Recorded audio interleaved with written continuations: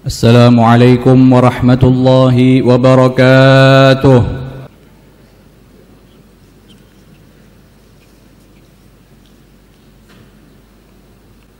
الحمد لله الحمد لله نحمده ونستعينه ونستهديه ونعوذ به من شرور أنفسنا وسيئات أعمالنا. من يهده الله فلا مضل له ومن يضلل فلن تجد له وليا مرشدا. أحمده وأشهد أن لا إله إلا الله وحده لا شريك له. له الملك وله الحمد وهو على كل شيء قدير. وأشهد أن سيدنا وعظيمنا وحبيبنا وقائدنا محمدا عبده ورسوله. أرسله الله عز وجل للعالمين بشيرا ونذيرا. فبلغ الرسالة وأدى الأمانة ونصح الأمة. وجاهد في الله حق جهاده حتى أتاه اليقين. اللهم صل وسلم على سيدنا محمد عبدك ورسولك النبي الأمي وعلى آل سيدنا محمد وأزواجه وذريته كما صليت على إبراهيم وعلى آل إبراهيم وبارك على سيدنا محمد وعلى آل سيدنا محمد وأزواجه وذريته كما باركت على سيدنا إبراهيم وعلى آل سيدنا إبراهيم في العالمين إنك حميد مجيد. أما بعد فيا عباد الله إني أوصيكم ونفسي بتقوى الله. تقوى إله العالمين فإنها حرز عز وحرز في الدنا والمرجع. فيها غنى الدارين فاستمسك بها. والزم تنل ما تشتهيه وتدعي. ومن ضيع التقوى وأهمل أمرها تغشته في العقبى فنون الندامة Para hadirin yang dirahmati Allah Subhanahu wa taala. Kita berada di akhir zaman. Yang mana di dalam kehidupan kita di akhir zaman ini banyak sekali musibah-musibah banyak sekali fitnah-fitnah yang menggoda diri kita yang menggoda anak kita dan juga keluarga kita sehingga kita keluar dari seruan Allah dan juga seruan dari Rasulullah sallallahu alaihi wasallam. Maka dari itu izinkanlah al-faqir menjelaskan ataupun menceritakan kepada kita semua tentang seruan-seruan yang mana seruan tersebut telah terjadi di zaman Rasulullah sallallahu alaihi wasallam dan terjadi pula di zaman kita sekarang ini. Seruan tersebut adalah bukti fitnah, tunjukkan fitnah kepada kita supaya kita tidak tergolong orang-orang yang dicintai oleh Allah dan juga dicintai oleh Rasulullah sallallahu alaihi wasallam supaya kita semua keluar dari jalurnya Allah, dari jalannya Allah dan juga dari jalannya Rasulullah sallallahu alaihi wasallam. Di zaman sekarang ini banyak sekali seruan di antara seruan yang biasanya kita dengar yaitu supaya kita mendengarkan, supaya kita mempelajari, supaya kita menelusuri ilmu-ilmu pengetahuan yang didatangkan daripada orang-orang lain yang didatangkan bukan dari Allah dan juga dari Rasulullah sallallahu alaihi wasallam yang mungkin ajakan tersebut atau pansuran tersebut menjelaskan kepada kita ambil saja kebaikannya dan kejelekan-kejelekannya hendaknya kita tinggalkan. Di zaman Rasulullah sallallahu alaihi wasallam sebagaimana yang dikutip di dalam riwayat pernah terjadi ketika itu di zaman Sayyidina Umar bin Khattab pernah terjadi kepada Sayyidina Umar bin Khattab yang mana di situ Rasulullah sallallahu alaihi wasallam pernah marah terhadap Sayyidina Umar bin Khattab Kemarahan Rasulullah sallallahu alaihi wasallam muncul dan juga timbul dikarenakan dilihat sahabatnya Umar ketika itu memegang kertas ataupun tulisan-tulisan yang bersumber dari kitab At-Taurah. Kita tahu kitab Taurah dan juga kitab Injil adalah kitab-kitab suci yang diturunkan Allah Subhanahu wa taala kepada Nabi Allah Musa dan juga Nabi Allah Isa. Tapi harus kita ketahui pula bahwa kitab-kitab tersebut di zaman Rasulullah sallallahu alaihi wasallam sudah berubah apalagi di zaman kita sekarang ini maka ketika itu ketika Rasulullah sallallahu alaihi wasallam melihat sahabatnya mempelajari ataupun membaca isi kitab At-Taurah maka di situ Rasulullah sallallahu alaihi wasallam mengatakan kepada Sayyidina Umar bin Khattab ya Umar amutasyakikun anta fima ji'tu bih Wahai Umar, apakah engkau ini ragu dengan apa yang telah aku bawa yang bersumber dari Allah Subhanahu wa taala? Di situ Rasulullah sallallahu alaihi wasallam menasihatkan kepada Sayyidina Umar bin Khattab dan juga mengatakan kepada Sayyidina Umar bin Khattab dan juga mengatakan kepada kita semua. Beliau katakan, "Ya Umar, wallahi law kana Musa wa Isa hayyain lama wasi'ahuma illa tibai." Wahai Umar, wahai umat Rasulullah sallallahu alaihi wasallam, andai saja Nabi Allah Musa dan juga Isa masih hidup di saat ini, di zaman Rasulullah sallallahu alaihi wasallam ataupun di akhir zaman ini, maka mereka berdua pasti akan mengikuti diriku yaitu Rasulullah sallallahu alaihi wasallam. Wallahi laqad ji'tukum biha baydha'a naqiyah. Demi Allah, Seruan dari Rasulullah sallallahu alaihi wasallam beliau katakan kepada Sayyidina Umar dan juga mengatakan kepada kita semua yang mana di akhir zaman ini banyak di antara kita yang berusaha mempelajari kitab-kitab tersebut yang tergoda dengan isi kitab-kitab tersebut yang mana mereka mengutip kebaikan dari isi kitab tersebut dan mereka mendengarkan seruan Allah dan juga seruan Rasulullah sallallahu alaihi wasallam mereka katakan kita ambil baiknya saja. Tapi Rasulullah sallallahu alaihi wasallam di waktu itu yang melihat sahabatnya Umar, kita ketahui ketangguhan Sayyidina Umar di dalam mencintai Allah dan juga mencintai Rasulullah sallallahu alaihi wasallam. Tapi Rasulullah tidak ingin Justru Rasulullah sallallahu alaihi wasallam marah kepada Sayyidina Umar ketika melihat sahabatnya Umar yang tidak mungkin terpengaruhi dengan isi kitab Taurat, tetapi di situ Rasulullah sallallahu alaihi wasallam mengingatkan kepada Sayyidina Umar dan juga mengingatkan kepada kita semua yang ada di zaman sekarang ini bahwa cukup bagi kita apa yang dibawakan oleh Allah dan juga melewati Rasulullah sallallahu alaihi wasallam. Rasulullah sallallahu alaihi wasallam mengatakan wallahi laqad ji'tukum biha baydha'a naqiyah.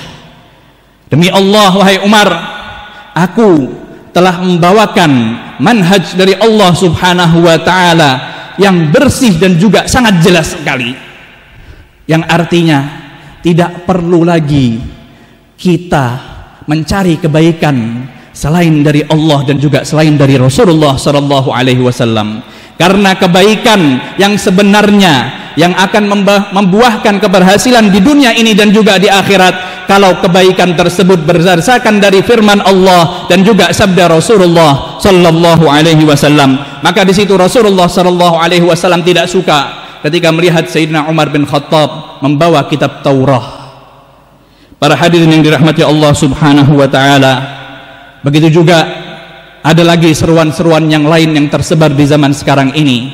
Kalau tadi mengatakan kepada kita dengarkanlah hal-hal yang baik dari luar Islam. Dengarkanlah hal-hal yang baik dari luar Islam supaya kita benar-benar menjadikan orang-orang yang penuh dengan pengetahuan. Tapi ketahuilah dari seruan tersebut hanya ingin membohongi kita hanya ingin membujuk kita. Kalau kita sudah mendengarkan seruan-seruan tersebut berusaha mengambil kebaikan dari seruan-seruan tersebut lama kelamaan kita nanti akan mengidolakan mereka semua kita nanti akan mengidolakan apa yang mereka serukan sehingga kita tidak melihat lagi apakah itu baik sesuai dengan firman Allah dan juga ajaran Rasulullah sallallahu alaihi wasallam ataupun tidak. Kita sedikit demi sedikit akan terpengaruhi dengan seruan-seruan tersebut. Adapun lagi seruan yang ada di akhir zaman ini di antaranya mereka mengatakan kepada kita semua bahwa ini adalah Al-Qur'an dan juga sunnahnya Rasulullah sallallahu alaihi wasallam. Mereka katakan mereka yang yang mereka kutip ataupun yang mereka nukil ataupun yang mereka sebarkan adalah firman Allah dan juga firman Rasul ataupun sabda Rasulullah sallallahu alaihi wasallam.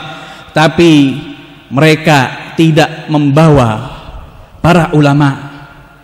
Mereka tidak membawa para membawa para salafun salih yang mereka bawa pemahaman mereka sendiri tentang Al-Qur'an dan juga tentang sunnah-sunnah Rasulullah sallallahu alaihi wasallam Hal itu pernah terjadi di zaman Rasulullah sallallahu alaihi wasallam. Sebagaimana yang kita ketahui dari sebuah kisah ataupun cerita yang terjadi di zaman tersebut yang dialami oleh Sayyidina Abu Bakar As-Siddiq dan juga Sayyidina Abi Hurairah radhiyallahu anhuma. Ketika itu mereka berdua pernah dinasehati oleh setan yang mana ketika itu setan mengatakan kepada Sina Abu Bakar dan juga Abu Hurairah radhiyallahu anhuma setan mengajarkan kepada mereka berdua bacalah ayatul kursi sebelum kalian tidur. Niscaya Allah subhanahu wa ta'ala akan melindungi kalian berdua dari godaan-godaan setan ataupun para jin dan setan pun tidak akan masuk ke dalam rumah kalian. Ajaran ini datangnya dari setan diajarkan kepada Sayyidina Abu Bakar As-Siddiq dan juga Abu Hurairah radhiyallahu anhuma. Maka ketika mendengar hal seperti itu yang mana di waktu itu Sayyidina Abu Bakar dan juga Abu Hurairah tidak mengetahui siapakah orang yang ketika itu menasihati dirinya. Mereka berdua pun mendatangi Rasulullah Shallallahu Alaihi Wasallam dan mereka pun menceritakan perkara tersebut kepada Rasulullah Shallallahu Alaihi Wasallam. Maka di situ Rasulullah Shallallahu Alaihi Wasallam mengatakan kepada mereka berdua, ama innahu qad sadaqakuma wa innahu lakadzub. Apa yang disampaikan oleh orang tersebut adalah sesuatu yang benar yang artinya ayatul kursi benar bisa melindungi seorang dari godaan-godaan setan dan setan tidak akan masuk ke rumah bagi orang-orang yang membacakan ayatul kursi di, dalam, di malam harinya. Di sini kita lihat apakah Sayyidina Abu Bakar dan juga Abu Hurairah tidak mengetahui rahasia-rahasia Al-Quran? Sehingga Abu Bakar As-Siddiq dan juga Abu Hurairah tidak langsung mempercayai ajakan orang tersebut sehingga mereka berdua harus kembali kepada Rasulullah Shallallahu Alaihi Wasallam untuk mengetahui kebenaran tersebut. Di sini pelajaran yang penting yang diajarkan Rasulullah Shallallahu Alaihi Wasallam dan juga kedua sahabatnya. Di sini Sayyidina Abu Bakar As-Siddiq mendengarkan ayatul kursi. Rahasia di dalam ayatul kursi pasti tidak pasti Sayyidina Abu Bakar As-Siddiq dan juga Sayyidina Abu Hurairah mengetahui rahasia-rahasia tersebut yang mana ayatul kursi termasuk daripada Al-Quran. Yang mana Al-Quran bisa menelinguni seseorang dari godaan-godaan setan. Itu pasti. Tapi dikarenakan Abu Bakar As-Siddiq dan juga Sayyidina Abu Hurairah mendengarkannya bukan dari sumbernya. Maka mereka pun kembali kepada Rasulullah Sallallahu Alaihi Wasallam. Meminta kepastian dari Rasulullah Sallallahu Alaihi Wasallam bukan keraguan atas Quran tersebut Bukan keraguan atas ayat kursi tersebut untuk melindungi Sayyidina Abu Bakar dan juga Sayyidina Abu Hurairah dari godaan setan, bukan. Supaya mereka dua benar-benar mendapatkan ilmu ataupun pengetahuan itu dari sumber yang pasti yaitu Rasulullah sallallahu alaihi wasallam. Dan di situ pula Rasulullah sallallahu alaihi wasallam mengajarkan kepada mereka semua bahwa ajaran tersebut benar, tetapi yang mengajarkan kepada dirimu wahai Abu Bakar dan juga wahai Abu Hurairah sifat orang tersebut adalah pendusta dikarenakan dia adalah setan. Maka di sini seruan-seruan seperti ini sudah terdengar di telinga kita.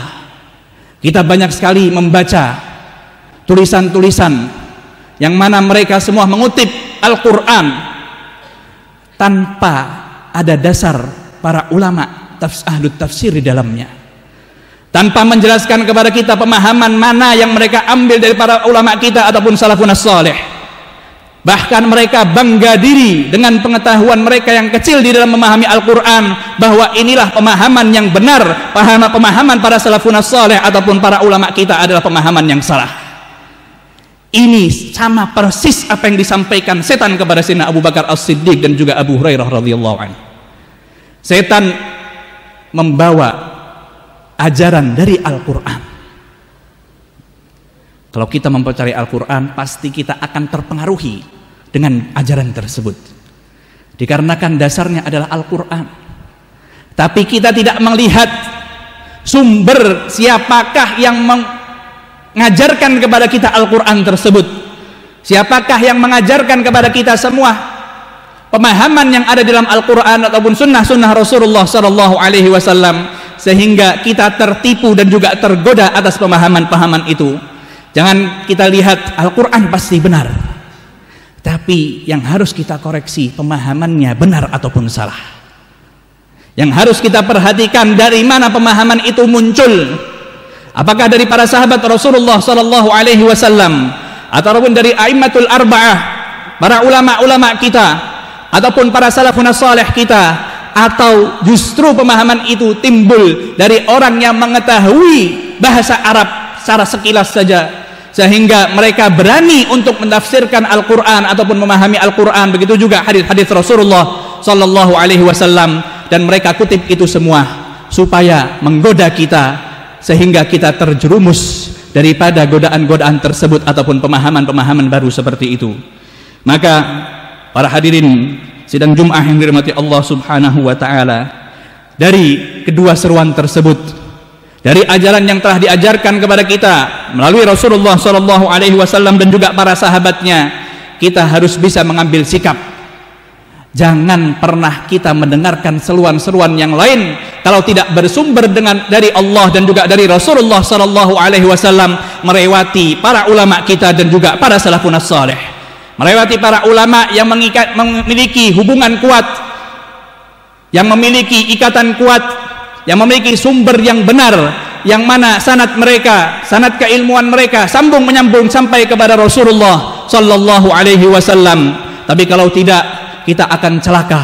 Kita akan terpengaruhi dengan godaan-godaan tersebut. Kita akan terpengaruhi dengan seruan-seruan tersebut.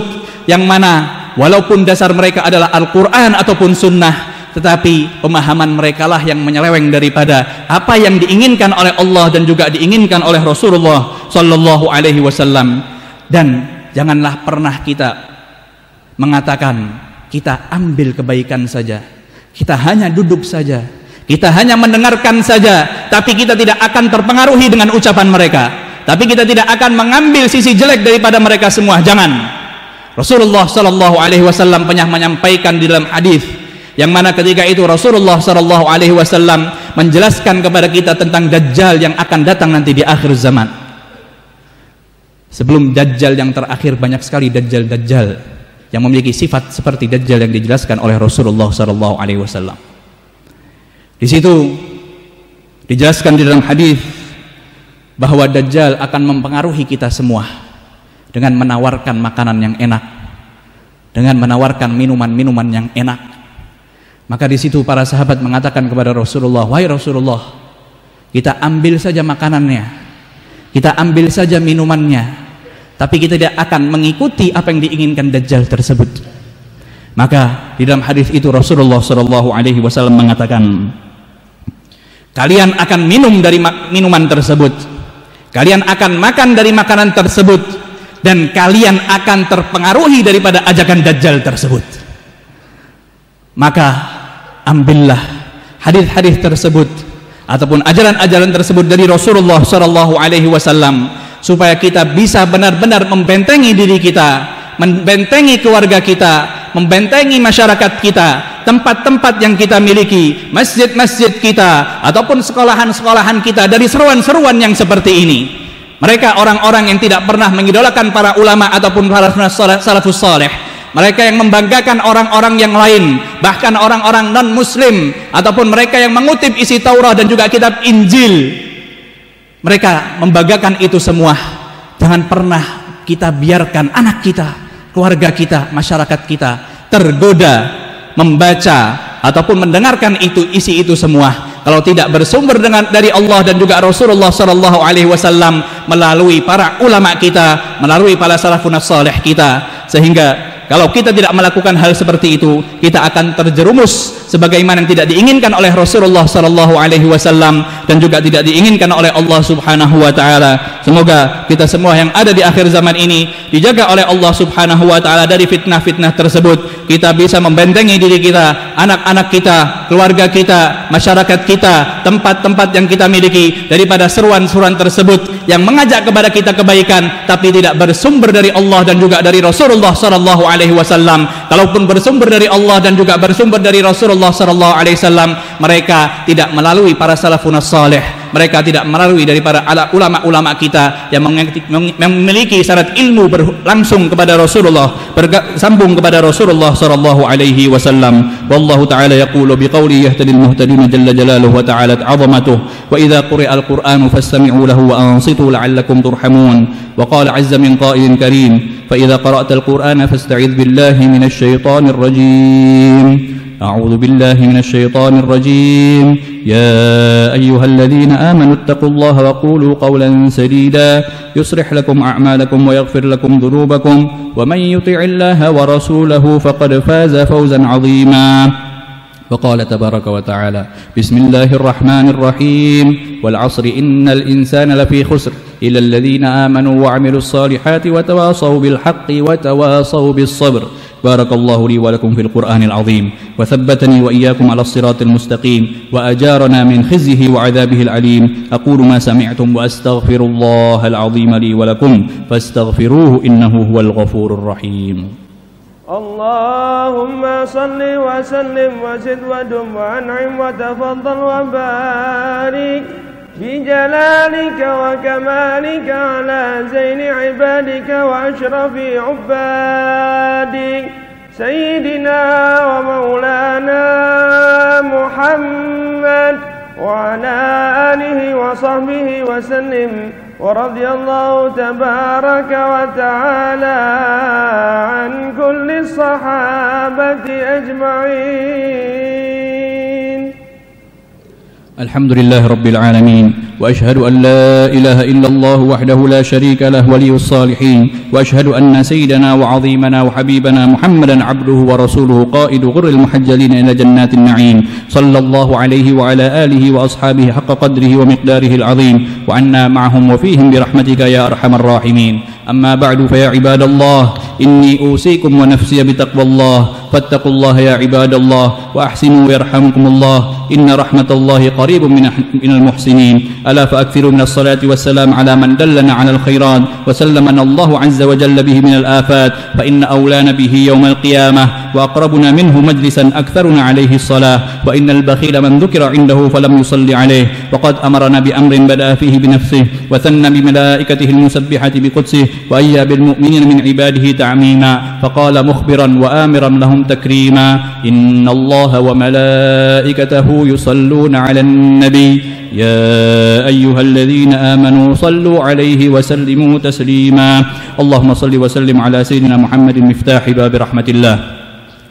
عدد ما في علم الله صلاة وسلاما دائمين بدوام ملك الله وعلى آله وأصحابه. وارض اللهم عن أصحاب نبيك الكرام. لا سيما أجلهم فخرا وأرفعهم قدرا. مؤازر النبي في حالة السعة والضيق. خليفة رسول الله سيدنا أبي بكر الصديق. وعلى شهيد المحراب الناطق بالصواب أمير المؤمنين سيدنا عمر بن الخطاب. وعلى ذو النور والبرهان من استحيت منه ملائكة الرحمن. الإمام شيخ الإسلام ذو النورين سيدنا عثمان بن عفان. وعلى أخي المصطفى وابن عمه ووليه وباب نذيرة علمه علمه إمام أهل المشارق والمغارب أمير المؤمنين سيدنا علي بن أبي طالب وعن بقية العشرة المبشرين بالجنة في الجنة وعن حسين الحسن والحسين سيدي شباب أهل الجنة في الجنة وريحانة النبي بنفس السنة وعن أمهما الحوراء فاطمة البتول الزهراء وخديجة الكبرى وعائشة الرضا وعن أهل بدر وأهل أحد وأهل بيت الرضوان وعن بقية الصحابة الكرام ومن تبعهم بإحسان وعنا معهم وفيهم برحمتك يا أرحم الراحمين. اللهم أعز الإسلام وانصر المسلمين. اللهم أعز الإسلام وانصر المسلمين. اللهم هيا لهذه الأمة أمرا رشدا. يعز فيه وليك ويذل فيه عدوك. يؤمل فيه بطاعتك ورضاك يا رب العالمين. اللهم منزل الكتاب ومجري السحاب وهازم الإحزاب. احزم إحزم حزب الباطل ودققهم يا رب العالمين. اللهم عليك بالكفار والفجار وأعوانهم. اللهم نجعلك إنا نجعلك في نحورهم. ونعوذ بك من شرورهم ونستكفيك إياهم يا رب العالمين. اللهم اجعل الدائرة عليهم وأشغلهم بأنفسهم وأشغل الظالمين بالظالمين وأخرجنا من بينهم سالمين. اللهم اقسم لنا ولأحبابنا والمسلمين من خشيتك ما تحول بيننا وبين معصيتك ومن طاعتك ما تبلغنا به جنتك ومن اليقين ما تهون علينا مصائب الدنيا. متعنا بأسماعنا وأبصارنا وقوتنا ما أحيتنا واجعل الورثة منا واجعل ثأرنا على من ظلمنا وانصرنا على من عادانا. ولا تجعل الدنيا أكبر همنا ولا مبلغ علمنا. ولا تسلط علينا من لا يرحمنا. اللهم ارحمنا بترك المعاصي أبدا ما أبقيتنا. وارحمنا أن نتكلف ما لا يعنينا وارزقنا حسن النظر فيما يرضيك عنا. اللهم أكرمنا ولا تهنا وزدنا ولا تنقصنا وآثرنا ولا تؤثر علينا وارضنا وارض عنا برحمتك يا أرحم الراحمين. اللهم اسقنا الغيث والرحمة ولا تجعلنا من القانتين. اللهم اسقنا الغيث والرحمة ولا تأخذنا بالسنين. اللهم اسقنا الغيث والرحمة ولا تجعلنا من الآيسين. اللهم اسقنا غيثا مغيثا هنيئا مريئا غدقا مجللا صحا طبقا عاما دائما. اللهم إنا نستغفرك إنك كنت غفارا. فأرسل السماء علينا مدرارا.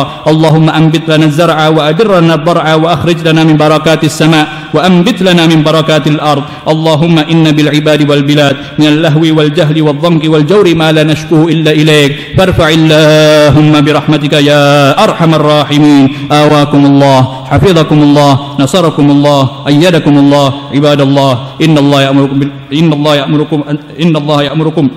بالعدل والإحسان. بالعدل والإحسان. اذكروا الله العظيم يذكركم واشكروه على نعمه يزدكم ولذكر الله أكبر.